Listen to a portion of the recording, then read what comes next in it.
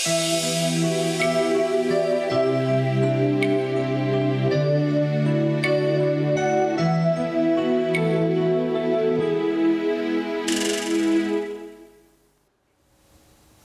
będzie pochwalony Jezus Chrystus i Maryja zawsze dziewica. Witam Państwa w rozmowach niedokończonych. Temat naszych rozmów przejawy ideologicznej kolonizacji, a naszym gościem jest pan dr Marcin Romanowski, wiceminister sprawiedliwości. Szczęść Boże, panie ministrze. Szczęść Boże, kłaniam się. Również, e, panie ministrze, e, tak sobie e, myślę, przejawy ideologicznej kolonizacji i mamy, no nie w studio, bo pan w swoim, w swoim gabinecie, ale możliwość rozmowy z przedstawicielstwem Ministerstwa Sprawiedliwości. Więc czy to się tak dzieje, że ta kolonizacja dokonywana jest dzisiaj poprzez prawo przede wszystkim?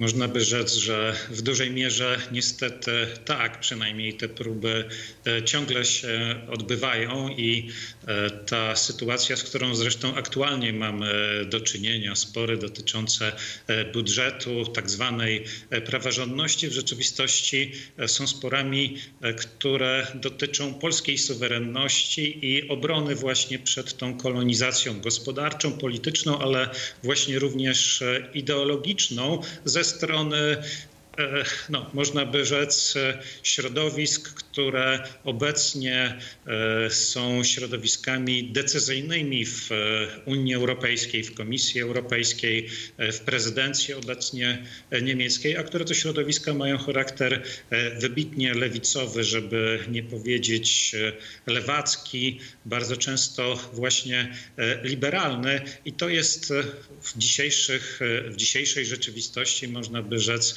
bardzo e, niestety ważne i niebezpieczne e, narzędzie narzucania pewnej ideologicznej agendy właśnie poprzez prawo, a skoro e, jesteśmy dzisiaj tu i teraz właśnie przez pewien szantaż, który jest obecnie stosowany, czy, czy próbuje się go stosować w stosunku do Polski, również Węgier, a myślę, że w przyszłości do innych krajów, które odważą się mieć inny pogląd, inny sposób myślenia o tym, jak powinno wyglądać prawo, jak powinien wyglądać system prawny, jak powinno być urządzone e, społeczeństwo, bo e, skoro mówimy o tych groźbach pozbawienia funduszy e, europejskich i, i właśnie zastosowania tych mechanizmów i obchodzenia tych mechanizmów, to warto spojrzeć w przeszłość. Niecałe pięć lat temu też mieliśmy do czynienia z takimi groźbami. Zaraz jak Zjednoczona Prawica doszła do władzy właśnie w 2015 roku, tam również, może pamiętamy to, miało miejsce spory dotyczące właśnie tego obowiązku relokacji, przyjmowania e, tych migrantów, których e, w tak dużej ilości przyjmowały Niemcy e, i, i tutaj też był wymuszany, można by powiedzieć, na Polsce, również na, Węgry, na Węgrzech obowiązek tak zwanej solidarności, a w rzeczywistości to była próba, próba narzucenia Polsce, też innym krajom, tak jak Węgry, inne kraje Europy Środkowej, właśnie takiej agresywnej mniejszości, a efekty tego widzimy e, obecnie w, e, w Niemczech, we Włoszech czy, czy we Francji, gdzie, gdzie niestety znaczna część tych osób po prostu się e, nie asymiluje, nie chce funkcjonować w ramach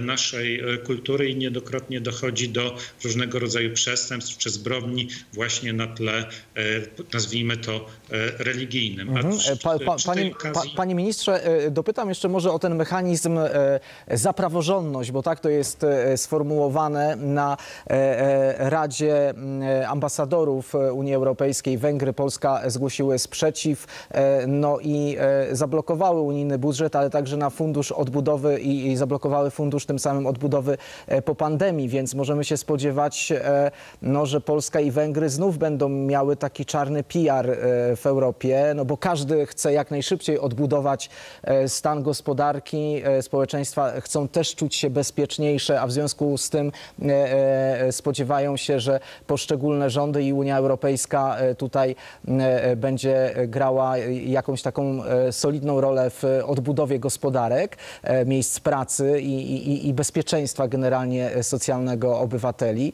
no a Polska i Węgry to blokują.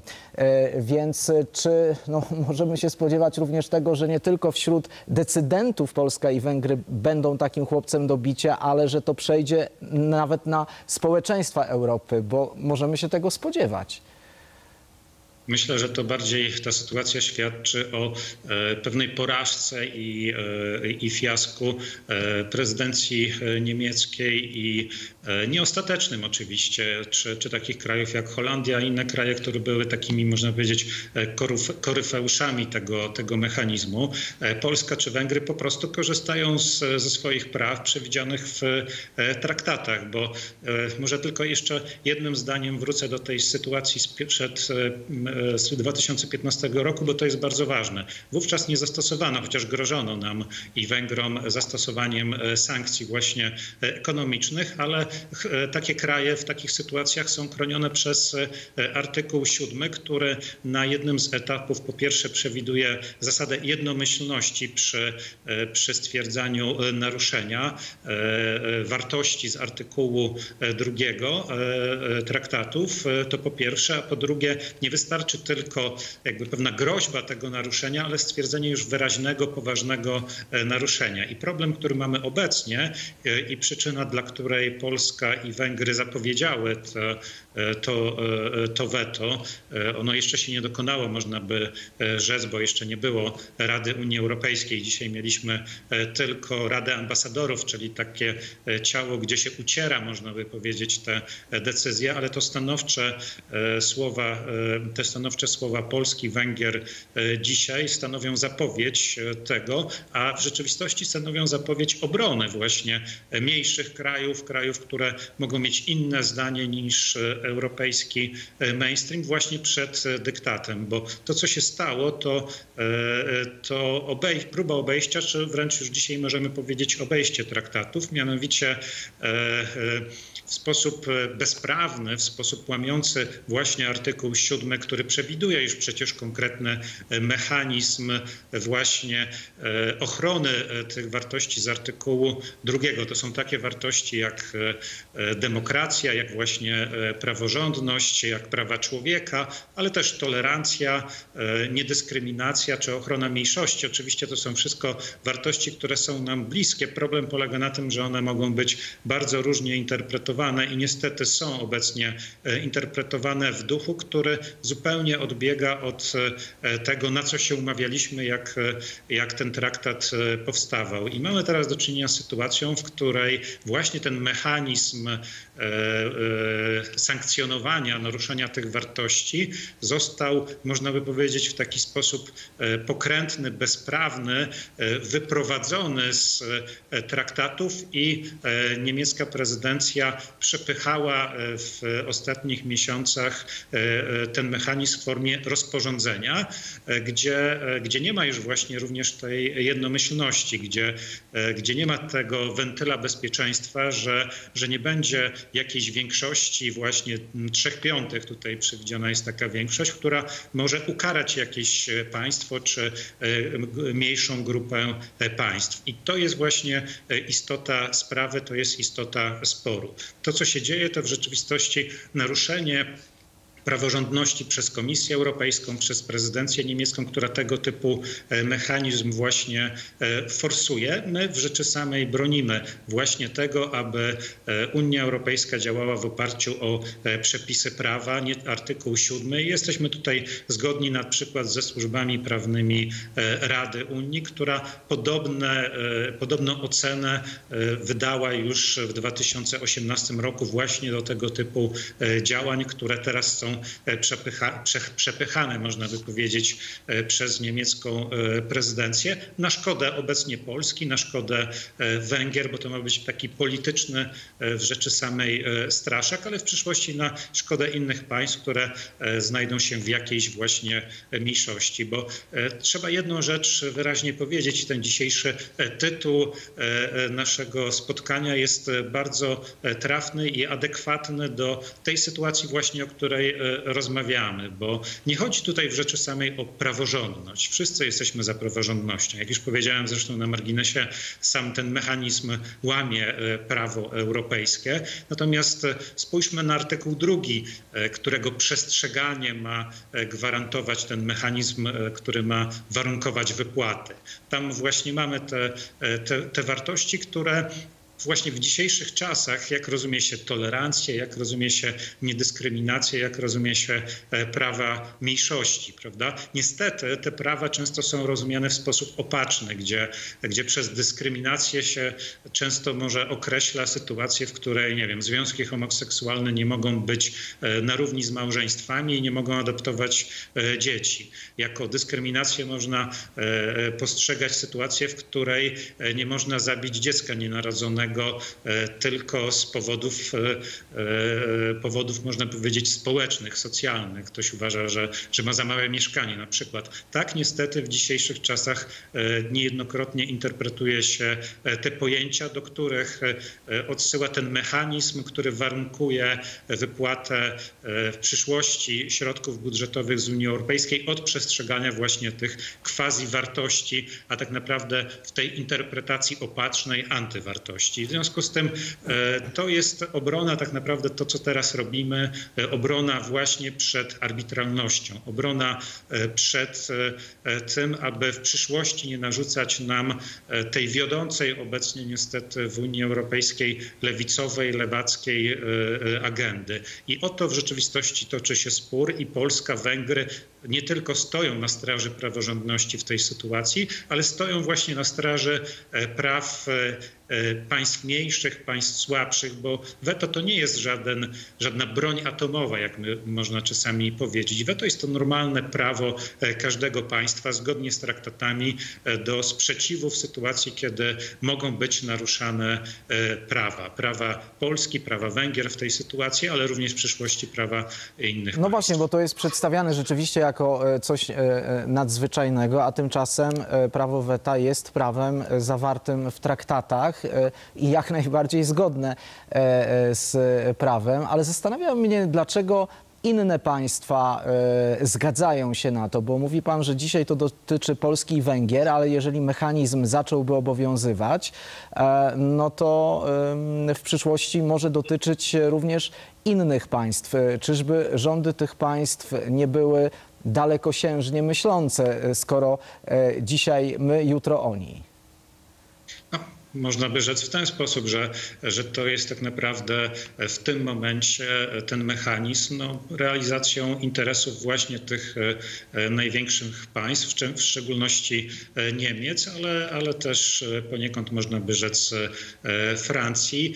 I to jest taka, takie myślenie, że, że Polska zgodzi się właśnie na tę marchewkę w postaci dodatkowych środków w funduszu odbudowy odbudowę, w Funduszu Odbudowy, myśląc krótkowzrocznie, że, że jakoś tam będzie, prawda, że może w przyszłości e, ten mechanizm nie zostanie e, zastosowany. To jest też związane z, e, z pewnym być może przyzwyczajeniem jeszcze establishmentu europejskiego, że Polska była właśnie tym pokornym państwem, które zawsze gdzieś tam w ostateczności realizowało politykę ogólnoeuropejską, w rzeczywistości politykę politykę niemiecką, jest jeszcze, pogląd jeszcze e, z czasów e, rządów Platformy Obywatelskiej i e, PSL-u. Myślę, że warto, żeby, żeby dotarło już do, do niemieckiej prezydencji, do Komisji Europejskiej, że te czasy się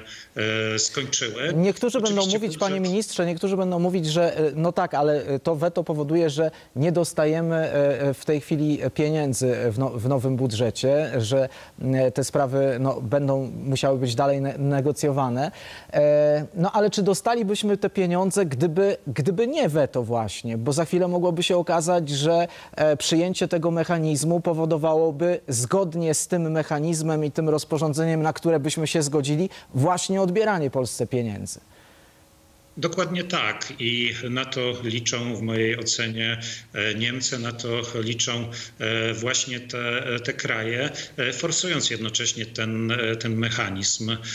Liczą na to, że można by rzec, skusimy się na, na te pieniądze, czyli ta przysłowiowa marchewka. W rzeczywistości za jakiś czas, za rok czy dwa, realizując konsekwentnie naszą, naszą politykę konserwatywną, naszą politykę dotyczącą wartości, ochrony e, życia, ochrony rodziny, ochrony małżeństwa, te pieniądze po prostu zostaną e, nam e, zabrane. I no cóż, taka jest ta europejska, można by rzec, brutalność na przykład krajów południa, które, którym bardzo zależy przecież na tych środkach. Jeszcze jedna uwaga, jeśli można, ojcze, bo to nie jest tak, że potencjalne zawetowanie wieloletnich ram finansowych i innych regulacji, o których tutaj mówimy, mówimy, spowoduje, że nie będzie budżetu, prawda? E, zgodnie z zasadami i to jest bardzo często e, stosowane w praktyce.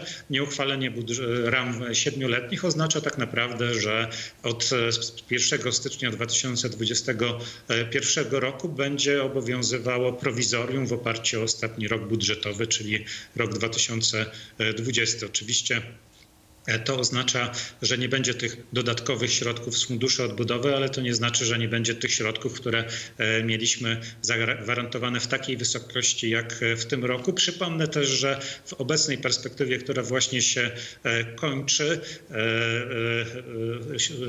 decyzja dotycząca, dotycząca można powiedzieć, środków wspólnych Unii Europejskiej była podjęta z dwuletnim opóźnieniem, więc to też nie jest żadna żadne zaskoczenie czy żadna nadzwyczajna, można by powiedzieć, e, sytuacja, że, że w tym momencie właśnie tego, tego typu decyzja nie będzie podjęta. Ale już tak kończąc i odpowiadając tak już wprost na, na to pytanie, w mojej ocenie, nie tylko w mojej, przecież o tym dzisiaj mówił pan minister Ziobro na konferencji prasowej, ale wcześniej przecież mówili inni politycy Zjednoczonej Prawicy, czy pan premier, czy pan wicepremier premier e, e, Jarosław Kaczyński, że, że to jest tak naprawdę e, szantaż, że próbuje się nam teraz przedstawić wizję znaczących środków po to, żeby potem na nas wymuszać groźbą właśnie pozbawienia tych środków różnego rodzaju decyzje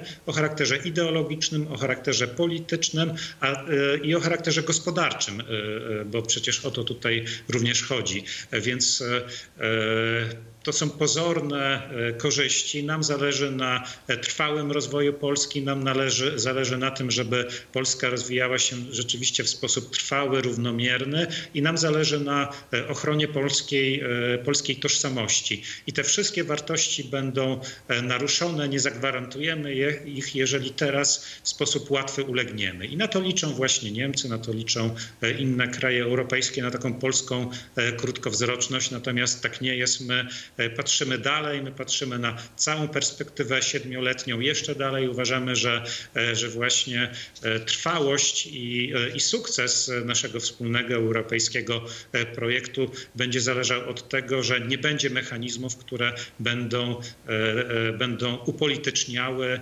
tego typu decyzje, będą, będą je otwierały na całkowitą arbitralność, na szantaż silniejszych w stosunku do słabszych, bo tylko wówczas, kiedy będzie ta europejska solidarność e, możemy zagwarantować, że e, i Polska, i Unia Europejska będzie mogła się rozwijać właśnie w sposób harmonijny. E, w czwartek Komisja Europejska przedstawiła strategię Unii Europejskiej na rzecz osób LGBTIQ i to jest właściwie pierwszy taki dokument, który między innymi mówi o rozszerzeniu katalogu przestępstw Unii Europejskiej, o, tu cytuję, homofobiczną mowę nienawiści, oraz o uznawaniu rodzicielstwa e, par jednopłciowych, a wiceszefowa Komisji Europejskiej Wiera Jurowa, no, e, która no, dała się już też poznać po Francie Timmermansie e, w Polsce, przekonuje, że celem jest objęcie nowymi regulacjami całej Unii, czyli także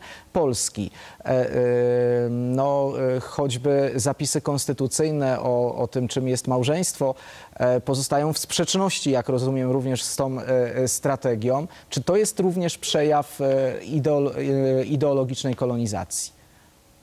To jest, można by rzec, taki program tej ideologicznej kolonizacji, który Komisja Europejska, można by rzec, przedstawiła, ujawniła w takim momencie, w którym no właśnie dyskutujemy powiązanie wypłat budżetowych w przyszłych, e, w nadchodzących siedmiu latach właśnie od, e, od tego, czy będziemy ten program w konsekwencji realizować, czy, e, czy nie. I to jest kolejny zresztą też przykład, mówię tutaj o tej strategii dotyczącej osób LGBT, łamania prawa europejskiego, łamania traktatów z dwóch powodów. Pierwszy taki można by rzec proceduralny. Tego typu dokumenty powinny być przyjmowane w innej formie, powinny być przyjmowane w formie, w której państwa członkowskie mogą być również zaangażowane i z całą pewnością kształt tego dokumentu byłby inny. To jest dokument tylko i wyłącznie komisji, co do którego państwa członkowskie nie miały tutaj żadnych wiążących możliwości podejmowania decyzji. To po pierwsze. A po drugie, w swej treści ten, ten dokument w sposób bezczelny i, i absurdalny wręcz łamie prawo europejskie europejskie, ponieważ e, te dwa, e, e, dwa tematy, o których ojciec wspomniał, one dotyczą, mm, one dotyczą kompetencji wyłącznych państw członkowskich. Po pierwsze właśnie regulacje tego typu z zakresu prawa karnego to jest kompetencja państw członkowskich, to po pierwsze, a po drugie właśnie ustrój małżeński, prawo rodzinne, prawo cywilne osobowe, akta stanu cywilnego, bo o tego typu regulacjach tutaj e, mówimy, to też są e, kompetencje wyłączne państw członkowskich. Oczywiście międzynarodowy e, obrót gospodarczy, prawo cywilne w tym zakresie to jest domena wspólnej polityki europejskiej, ale zgodnie z traktatami, zgodnie również z zasadą kompetencji powierzonych, tego typu regulacje nie mogą w żaden sposób naruszać kompetencji wyłącznych państw członkowskich członkowskich. A tutaj właśnie mamy do czynienia e, z taką e, sytuacją.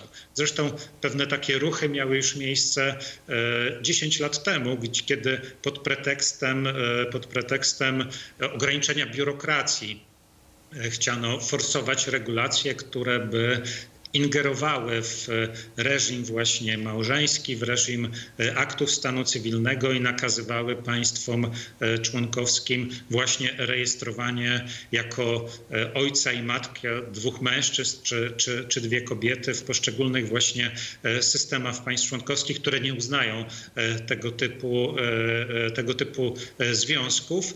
Wtedy to nie przeszło, teraz można by rzec jest ta kolejna próba, tym razem już taką bym powiedział od przy otwartej przyłbicy, gdzie wprost mówi się, że to jest agenda e, pro-LGBT. Ale to jest ewidentne złamanie e, traktatów, to jest wkroczenie w e, kompetencje państw członkowskich. Myślę, że będzie się to dokonywało pod pretekstem zapewnienia swobodnego przepływu osób, ale to jest całkowitą bzdurą, bo, bo jedną rzeczą to są rejestry stanu cywilnego, jedną rzeczą to jest to, co państwo E, uznaje za co państwo uznaje za, za małżeństwo, co rejestruje właśnie jako, e, jako, e, jako związek pochodzenie dziecka, prawda? A inną sprawą jest po prostu wykonywanie pewnych elementów władzy rodzicielskiej, co jest regulowane przez konwencję haskie i tutaj wszystkie kraje, nie tylko europejskie, właśnie tej regulacji są poddane i tutaj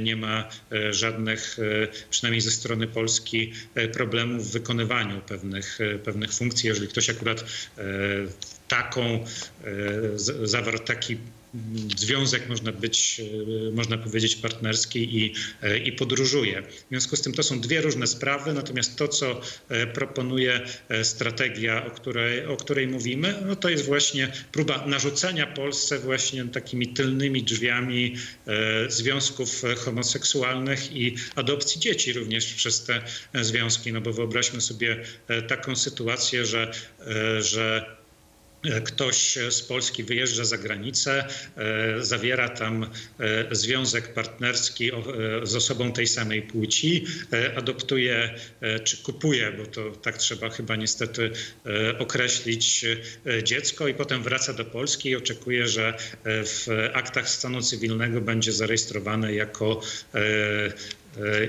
jako, jako rodzic A i rodzic B, prawda? Tymczasem polskie prawo nie przewiduje właśnie tego typu rozwiązań. Polskie prawo w artykule 18 mówi o małżeństwie jako związku mężczyzny i kobiety i tylko tego typu związek może mieć, może adoptować, można by powiedzieć, dzieci. Związki partnerskie tutaj po pierwsze nie istnieją w Polsce, nie są zinstytucjonalizowane i też oczywiście wykluczona jest w związku z tym e, adopcja przez, e, przez tego typu e, pary. Więc to, co proponuje się, to jest właśnie przykład wchodzenia z z butami w system prawny, wchodzenia z butami w polskie wartości i taki rodzaj właśnie znowuż szantażu szantażu ideologicznego, takiej ideologicznej pałki, bo robi się to w sposób pozaprawny przez strategię. Oczywiście sama strategia jako e, taka nie ma mocy prawnej, prawda? Ona e, została specjalnie tak e, przygotowana jako strategia, jako rodzaj takiego soft law, ale zwróćmy uwagę, w dalszych punktach ta strategia przewiduje obowiązek uwzględniania w wszystkich politykach europejskich różnych obaw, czy oczekiwań, czy potrzeb osób właśnie LGBT. Zobowiązuje państwa członkowskie do przygotowania e, własnej strategii, a następnie uprawnia instytucje europejskie do monitorowania realizacji właśnie e, tej strategii. I tak to się właśnie odbywa. Małymi kroczkami, powoli, e, przez działania, które, które nie, są, nie mają oparcia w, w, w traktatach, po to, żeby w kolejnych latach, przy kolejnych na przykład programach wprowadzać właśnie elementy odwołujące się do tej e, strategii. To jest tak, taka, można powiedzieć, strategia e, wkładania nogi między drzwi. I myślę, że mieliśmy już tego zapowiedzi, mieliśmy tego e, przykłady, jak właśnie tak w sposób niejasny, ale efekty były niestety widoczne. Gmina, tak jak na przykład gmina Tuchów została pozbawiona środków europejskich. To może nie były wielkie kwoty, ale można by powiedzieć taka zapowiedź, taka pierwsza groźba, tylko i wyłącznie dlatego, że, że ta gmina przyjęła uchwałę w obronie małżeństwa właśnie jako związku mężczyzny i kobiety i przeciwstawiła się indoktrynacji czy deprawacji dzieci przez, przez próby próby tak zwanej edukacji seksualnej realizowanej przez tych tak zwanych E, latarników. I, i to, był, to była jedyna przyczyna, w, według słów jednej z komisarz, e, pani, pani Dali właśnie, e, jedna, jedyna, jedna, jedyna przyczyna właśnie pozbawienia właśnie tego podmiotu środków europejskich w sposób absolutnie pozaprawny, w sposób dyskryminujący, w sposób, który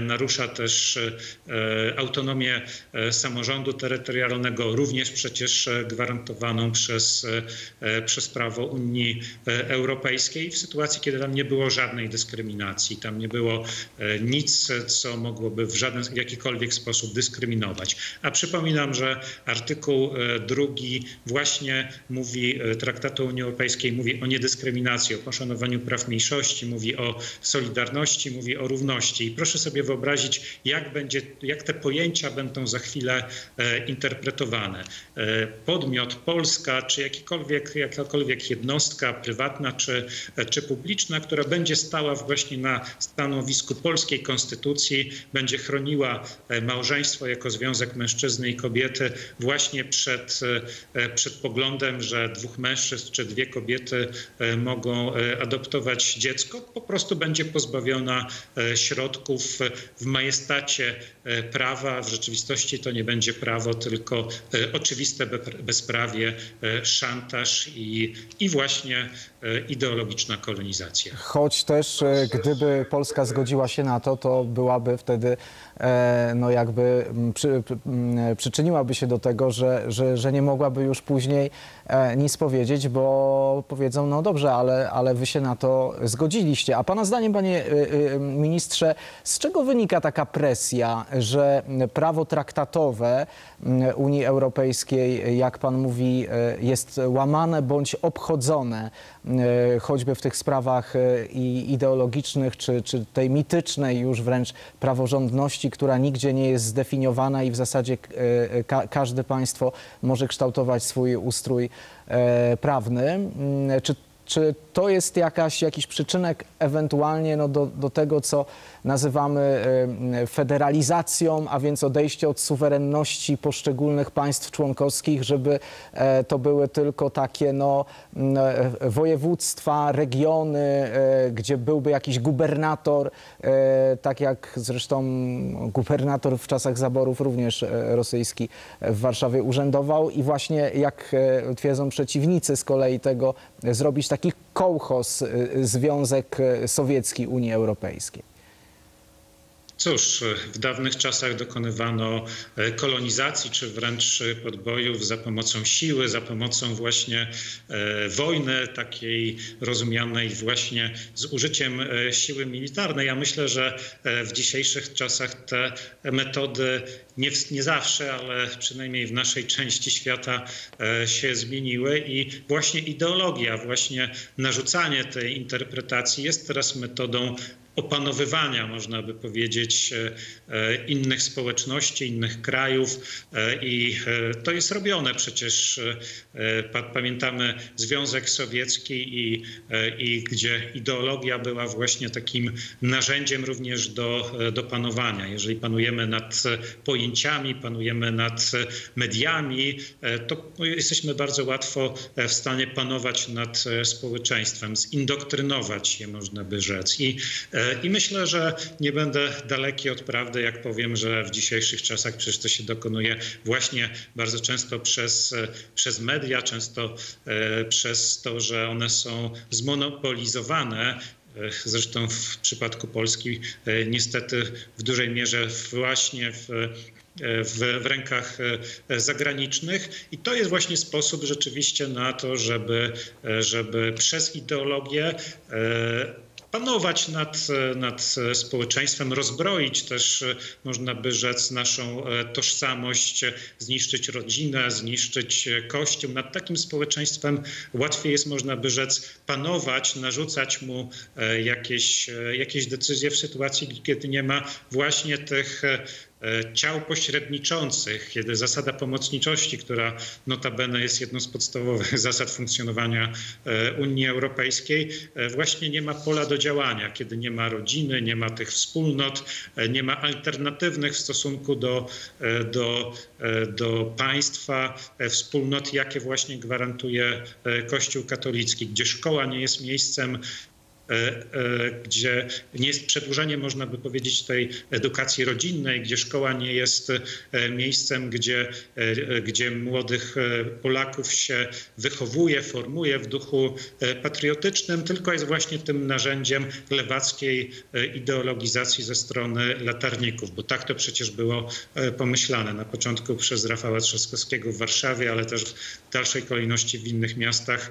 w Poznaniu, Gdańsku, a potem miałoby to pójść pójść e, w całej Polsce. I nad takim społeczeństwem e, rzeczywiście bardzo łatwo jest e, panować, niszcząc właśnie tradycje, niszcząc to, co nas łączy, co nas kształtuje, co powoduje, że jesteśmy Polakami, że jesteśmy odrębni. I o to tutaj również chodzi.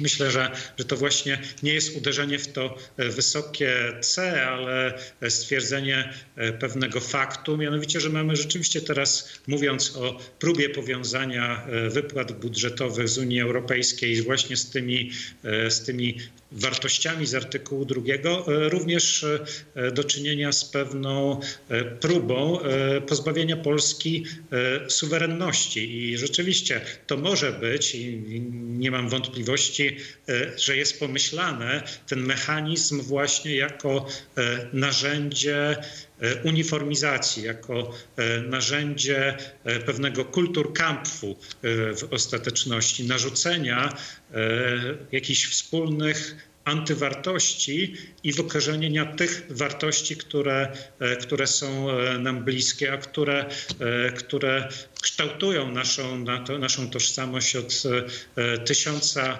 lat i za które nasi przodkowie przecież ginęli właśnie w tych wojnach. Teraz ta wojna odbywa się innymi metodami. Teraz ta wojna to wojna ideologiczna i dobrze pokazuje to też, pokazują to też pewne znamienne moi, w mojej ocenie reakcje niemieckich polityków czy, czy intelektualistów, którzy wprost to mówią. Mówią o tym, że ten mechanizm ma być mechanizmem torturowania Polaków, prawda, że to jest mechanizm do głodzenia Węgrów, mówiła wiceprzewodnicząca Niemka Parlamentu Europejskiego, w konsekwencji pewno głodzenia również, również Polaków. Czy, czy pani Klaudia Roth, która mówiła, to jest wojna, prawda, pokazując te neonazistowskie, w mojej ocenie, błyskawice, które też, te, te, działania, z którymi mieliśmy do czynienia, jakimś dziwnym trafem były tak bardzo pochwalane nawet przez, przez kanclerz Angela Merkel czy, czy przewodniczącą komisji Ursulę von der Leyen, żeby jeszcze nie wspomnieć właśnie o pani Klaudii Roth. To pokazuje właśnie, że tutaj chodzi, chodzi o suwerenność, chodzi o podmiotowość Polski, chodzi o to, czy, czy Polska będzie Polską, chodzi o to, czy, czy przetrwamy jako, jako naród, jako, jako, jako społeczeństwo, czy też poddamy się właśnie tej europejskiej urawniłowce właśnie w tym duchu neomarksistowskim. No bo myślę, że, że tych przykładów z historii nie można nie po, po, podawać, bo mamy do czynienia z działaniami ze strony Niemiec w ostateczności w, w tych nie przypadek jest przecież, że to właśnie teraz jak mamy prezydencję niemiecką w Unii Europejskiej, to ten mechanizm warunkowości właśnie tak bardzo przyspieszył. To jedna rzecz, a druga rzecz, że naszej polskiej polskiej historii to, to największe zło, które w, no, w nowożytnej historii, które doświadczaliśmy, to właśnie ze strony Niemiec, ze strony nazistowskich, narodowo-socjalistycznych Niemiec i ze strony komunistycznej Rosji Sowieckiej. A warto popatrzeć, że to Niemcy były, można by rzec, źródłem tych wszystkich totalitarnych ideologii nazizmu, komunizmu, też eugeniki, a dzisiaj możemy powiedzieć, że znowuż ta neomarksistowska, lewacka ideologia LGBT, znowu można by powiedzieć, taką forpocztą są Niemcy. I tak jak mówiliśmy o tej strategii działania na rzecz osób LGBT, to mi to bardzo przypomina przypomina po prostu jakieś takie nieuprawnione przyznawanie jakimś grupom pewnych praw, prawda? Tworzenie z nich nad, nadludzi. I to jest właśnie, to jest właśnie zaprzeczeniem zasady równości, bo kto jak kto, ale osoby LGBT w Polsce czy w innych krajach tradycyjnych, można by rzec, przecież nie są prześladowane. Polska zawsze słynęła z tego, że, że była krajem tolerancyjnym. Przypomnę, że w Polsce w polskim prawodawstwie nigdy nie było penalizacji związków, zachowań właśnie homoseksualnych. To Niemcy, to Anglia, tam osoby siedziały w więzieniach, czy, czy, czy były wręcz skazywane na karę śmierci za, za tego typu zachowania. Polska zawsze była krajem tolerancyjnym i polskiej tolerancji nie trzeba uczyć. Tolerancji powinny uczyć się Niemcy, Holandia czy, czy inne kraje, które być może mają tutaj jakiś wyrzut sumienia. Dziękuję. Zaprosimy naszych słuchaczy do rozmów. Dzisiaj naszym gościem jest pan dr Marcin Romanowski, wiceminister sprawiedliwości. Przejawy ideologicznej kolonizacji to temat spotkania. Numery 56 657 0011 dla telewizów z Polski Północnej, 657 0012 południa i telefony w naszej rodzinie 536 600 300 536 600 400 i zagranica 0048 56 657 0013 i 657 0014. Panie ministrze, czekając na telefony, może zapytam jeszcze o aksjologię, bo tutaj e, no jakby ta e, ideologiczna kolonizacja związana jest też e, z systemem wartości. Dawniej były wartości i antywartości, a dzisiaj e, e, wartości są jakieś takie przymiotnikowe, na przykład wartości konserwatywne, wartości tradycyjne. E, I tym e, nadano taki walor e, staromodności, jakiegoś wstecznictwa, zaściankowości. E, W kontrze mamy wartości europejskie, wartości modernistyczne, wartości nowoczesne i te e, jakby dzisiaj są e, tymi, które należy uznawać, wyznawać i które należy e, popierać. Dlaczego tak się stało? Cóż, można zajrzeć do Orwella i roku 1984. To bardzo pouczająca e, lektura. Czy, e, natomiast powiem w ten sposób właśnie, że mamy w mojej ocenie do czynienia właśnie z pewną redefinicją pojęć, że te stare pojęcia, e, które, z którymi właśnie mamy do czynienia, są kompletnie redefiniowane. Ich zakres znaczeniowy się zmienia. Można by powiedzieć, że mamy do czynienia dokładnie z odwrotnością tego, e, czym one były, w, e, czym one były e, pierwotnie. Bardzo często to się łączy niestety Tutaj znowuż kamyczek do ogródka dla trzeciej władzy, czyli władzy sądowniczej, że bardzo często to sądy, e, które no nie są poddane kontroli demokratycznej, niestety bardzo, e, bardzo często są takim narzędziem właśnie do reinterpretacji e, pojęć. I jeżeli mamy do czynienia właśnie z, z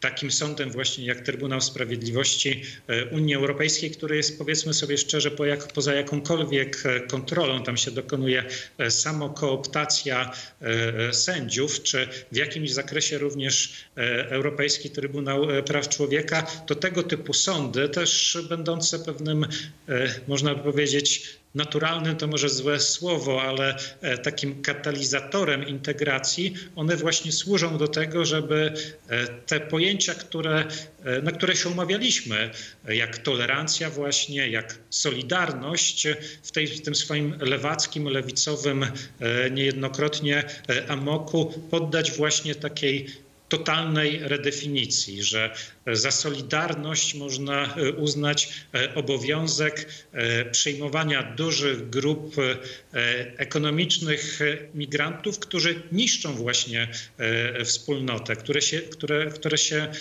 te, do tej wspólnoty nie integrują i to jest właśnie zaprzeczenie solidarności. A przypomnę, że Polska, o tym mało się mówi, przyjęła największą grupę migrantów właśnie w tym, w tym czasie właśnie z Ukrainy. Ale to są ludzie, którzy potrafią się integrować, którzy potrafią wejść do naszego społeczeństwa i mogą stanowić e, już za parę lat jego zupełnie integralną część. Więc to jest taki przykład, prawda, jak nam się zarzuca brak, zarzucało brak e, solidarności w sytuacji, kiedy my właśnie tę solidarność e, e, realizowaliśmy. I tak jest z, wielo, z wieloma pojęciami. Poza tym, e, chyba jest też tak, poza tym chyba jest też tak, że no to gospodarz e, zaprasza gości. Jeżeli jesteśmy gospodarzem, czyli jeżeli jesteśmy na swoim w Rzeczpospolitej Polskiej, czyli mamy suwerenność, to chyba od nas zależy, e, kogo zapraszamy i na jakich warunkach. Chyba, że już tym gospodarzem byśmy nie mieli być, no to wówczas rzeczywiście e, to e, ustalą inni. Panie ministrze, mamy telefon. Bardzo proszę, halo. Nie będzie pochwalony Jezus Chrystus i Maryja zawsze dziewica. Teraz i zawsze. E, Piotr z Mazowieckiego. Bardzo serdecznie witam ojca prowadzącego i bardzo serdecznie witam pana ministra. Chciałbym e, poprosić, żeby pan minister odniósł się e, mianowicie. Niemcy wrzucili nam do ogródka piękną żabę jako zemsta za upominanie się o reparacje. Budżet. Budżet to temat zastępczy Niemców. I drugie pytanie takie też mam do pana ministra. Dlaczego nie policzymy naszych strat po wejściu do Unii Europejskiej, proponując wyjście z tego ekskluzywnego klubu? Przy sprzedanych mediach z, z krętactwem sobie nie poradzimy. Dziękuję bardzo. Panem Bogiem. Dziękuję, z Panem Bogiem, Panie Ministrze. Tak, tak, to bardzo trafna uwaga, e, bo, bo rzeczywiście, hmm, może będę trochę E, powiem to trochę przesadnie, ale Unia Europejska jest e, swego rodzaju taką, e, takim obszarem gry, prawda? Gdzie, gdzie Niemcy właśnie, czy kraje z nimi powiązane jak Holandia właśnie próbują sprzedać swój produkt w postaci właśnie tej już mitycznej praworządności, która z praworządnością nie ma nic wspólnego taki jako swego rodzaju atut. I, e, i e, rzeczywiście no, można by rzec, że e, to, co, co Polska podnosiła, myślę, że warto do tego wracać i podnosić jeszcze bardziej, właśnie jak te reparacje, które są jak najbardziej usprawiedliwione i słuszne, to taki również sposób nacisku na Unię Europejską w tej, na Niemcy w tym, w tym wypadku, nacisku na, w ramach takiej, można by powiedzieć,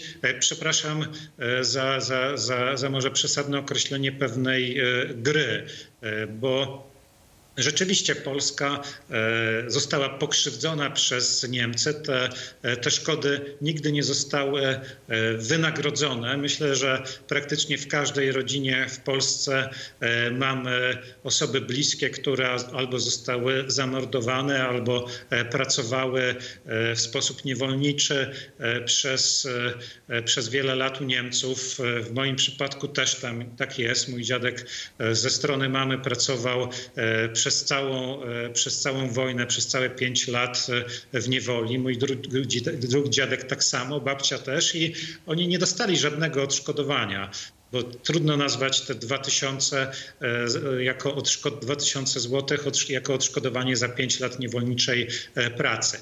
I w mojej ocenie, odwracając może trochę to, co, co, co pan Piotr powiedział, powiedziałbym w ten sposób. Być może to jest tak, że, że ten mechanizm w cudzysłowie e, praworządności to jest e, próba wywarcia nacisku na, na Polskę, żeby zrezygnowała właśnie z podnoszenia tych, tej kwestii właśnie reparacji, tego, tego odszkodowania, można by rzec, za, zniszcz, za niewolniczą pracę, za zniszczenie kraju. Można by to w ten sposób, myślę, też z, zinterpretować. A jeżeli jeżeli chodzi o rachunek, e, bilans korzyści i strat, można, e, można by rzec, to, to też to jest oczywiście bardzo, bardzo ważna sprawa. Na to trzeba e, zwracać e, uwagę. E, oczywiście w kontekście tej dyskusji pojawiają się te absurdalne zarzuty polexitu. Myślę, że, że pierwsze Niemcy nie będą zainteresowane polexitem, bo, bo rzeczywiście ekonomicznie korzystają na obecności polskiej w Unii Europejskiej ekonomicznie, geopolitycznie przecież trzy piąte, łańcuchów e, dystrybucji, łańcuchów e, produkcji właśnie niemieckiej jest zakorzenionych w Polsce, w Europie e, Środkowej i, i to jest jasne, że, że tego się nie da zastąpić pracą w, we Włoszech czy, czy w Hiszpanii. Nie da się też tego wyprowadzić poza Unię Europejską, a pandemia pokazała bardzo dobrze, że, że to jest właśnie niemożliwe. W związku z tym powiem może trochę tak brutalnie, jesteśmy w pewien sposób na, e, na siebie e, skazani e, w dłuższym okresie czasu. I to też jest dla, w mojej ocenie takim uspokojeniem też, że, że mamy też mocne atuty jako e, Polska e, w ręku i nie będzie e, tutaj żadnej straty dla Polski. To stanowcze stanowisko, bo tylko stanowcze stanowisko w kwestiach właśnie takich, jak teraz dyskutujemy, będzie się liczyło. Hiszpania wielokrotnie wetowała różnego rodzaju rozwiązania, broniąc swoich racji. Polska też jest silnym krajem i też tych racji E, będzie bronić, właśnie używając tych argumentów, które przecież podnosimy w negocjacjach, że to nie jest tak, że, że to tylko Polska korzysta na, e, na budżecie europejskim. Polska dużo wnosi nie tylko przez wpłaty do tego budżetu, ale dużo wnosi również przez to, że jest partnerem gospodarczym dla innych krajów europejskich i bardzo ważnym, kluczowym partnerem gospodarczym dla Niemiec. W związku z tym jesteśmy świadomi, świadomi tych, tych atutów, które, które mamy i można by rzec, pracujemy nad tym, żeby nasi przyjaciele z Niemiec, przyjaciele z Holandii czy Włoch też byli ich świadomi. Dziękuję. I kolejny słuchacz, bardzo proszę, halo. Tak, Elżbieta z Krakowa, szczęść Boże. Szczęść Boże. Ja dokładnie nie przytaczam, lecz przywołuję sens. Lenin mówił, plujcie, plujcie, a zawsze coś przylgnie. A Goebbels, szef propagandy Niemiec hitlerowskich, kłamcie, kłamcie, a zostanie to uznane za prawdę. A Goebbels stanu wojennego, czyli pan Urban Jerzy, klnijcie, klnijcie, demoralizujecie, przywołujcie wulgarności, a wszyscy uwierzą, że to tak ma być. Dziękuję. Dziękuję bardzo, panie ministrze. No cóż, skoro mówimy o ideologizacji, skoro mówimy o propagandzie, skoro mówimy właśnie o przekręcaniu pojęć, tak jak e, e, ojciec e, zadał to, to pytanie wcześniej, no to trudno się z tym nie zgodzić. Rzeczywiście to Goebbelsowskie wielokrotne powtarzanie kłamstwa, które staje się w cudzysłowie prawdą, przyjmowane jest właśnie jako prawda, to ta skuteczna metoda niestety e, skuteczna. Dlatego tak ważne jest, e, żebyśmy się temu przeciwstawiali. Dlatego tak e, ważne jest, żebyśmy w sposób stanowczy stawiali na, na stole nasze, nasze stanowisko. Dlatego też tak ważne jest i co zresztą wielokrotnie podkreślała Solidarna Polska, którą mam też przyjemność reprezentować Zbigniewa Ziobry, tak ważny jest pluralizm mediów. Bez tego, żeby media były w Polsce polskich rękach, żeby były e, pluralistyczne. E, nie możemy, nie będziemy mogli w dłuższym e, okresie czasu obronić naszej tożsamości, obronić naszej suwerenności, właśnie bo leninowskie, gebelsowskie czy e, e, e, urbanowskie slogany, one rzeczywiście mają odzwierciedlenie w, w pewnej praktyce, dlatego żeby przeciwstawić się kłamstwu, żeby się przeciwstawić demoralizacji, żeby przeciwstawić się właśnie niszczeniu polskiej tożsamości, musimy mieć, musimy mieć tę siłę, musimy mieć to również przekonanie wspólnie, że, że potrafimy musimy je obronić, ale musimy mieć też właśnie te narzędzia. A media, e, własność w polskich rękach, kapitał, który ma przecież e, narodowość, troska o to, żebyśmy nie byli e, tanim rynkiem zbytu czy tanim zasobem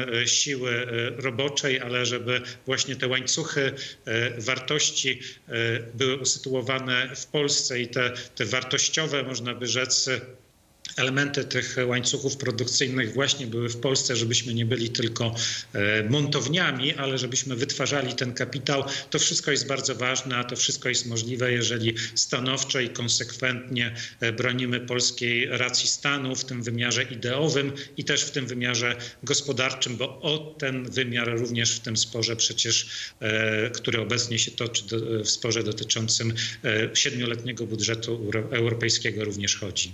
Dziękuję i odbieramy kolejny telefon. Bardzo proszę. Niech będzie pochwalony Jezus Chrystus i Maria zawsze dziewica. Teraz i zawsze. Witold spod Krakowa. Ja takimi dwoma myślami się chciałem podzielić.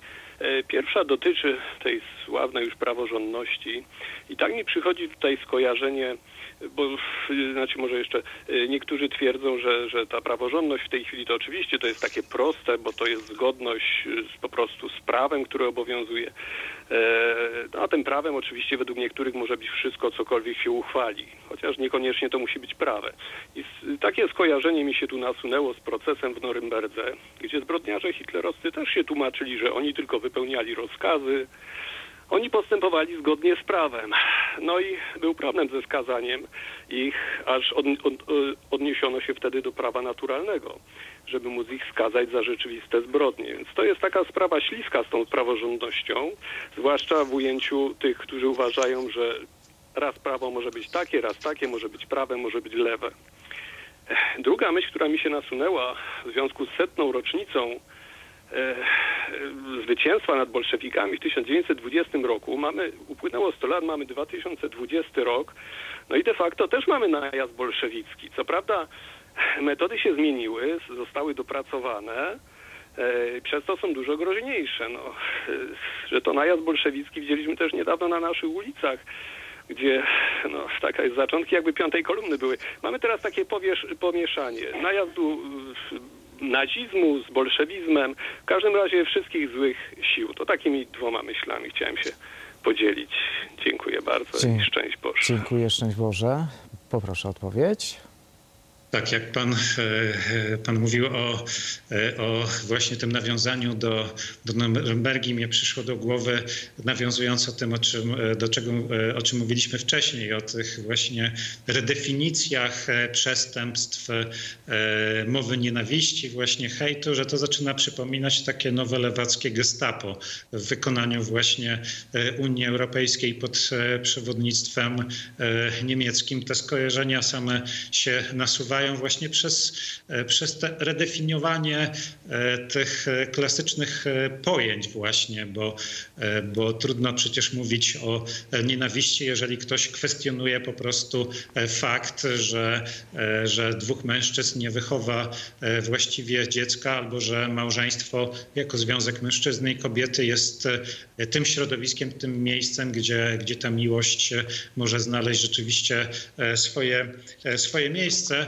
Natomiast do tego, jeżeli mówimy o tak zwanym tym najeździe, można by rzec, e, bolszewickim, o którym pan, e, pan wspomniał, mówiąc o, e, o tym, co się działo na, na polskich ulicach jeszcze parę dni, parę tygodni temu, w polskich kościołach, to te, te napady właśnie, to, to niszczenie mienia i, i wkraczanie do kościołów, to rzeczywiście ja pomyślałem tutaj o, o takim pojęciu z kolei, które jest pojęciem e, wziętym z e, teorii wywiadu, prawda? Pożyteczny e, idiota. Skoro mówimy o, o wojnie ideologicznej, skoro mówimy o kolonizacji ideologicznej, no to właśnie w wywiadzie jest taki pogląd, taki, takie pojęcie, że, że często właśnie osoby, które są wykorzystywane nieświadomie, mam nadzieję, że tak tutaj było właśnie do tego, żeby e, podważać e, e, tożsamość państwa po to, żeby, żeby destabilizować to państwo, to ja w tych kategoriach też patrzę na to, co się, co się działo i jeszcze jak popatrzymy na to, jak e, entuzjastycznie reagowali na, na te wydarzenia niemieccy politycy, a to, że za chwilę pojawiły się zamiast e, haseł wynikających e, z usprawiedliwionych przecież e, obaw osób, które nie rozumiały sensu tego, tego orzeczenia Trybunału Konstytucyjnego, ale za chwilę pojawiły się tak naprawdę typowe, typowe postulaty polityczne, obalić rząd e, e, i, e, i tak naprawdę o to, tutaj, e, o to tutaj chodziło, więc mieliśmy tutaj i ten element, można by powiedzieć, e, ideologizacji tego brutalnego przeciwstawiania się temu, co najważniejsze, prawu do życia, prawo do życia każdego człowieka, w szczególności e, człowieka niepełnosprawnego, e, to, to jest element naszej przecież tożsamości, naszej, e, naszej cywilizacji i tego powinniśmy bronić właśnie, a nie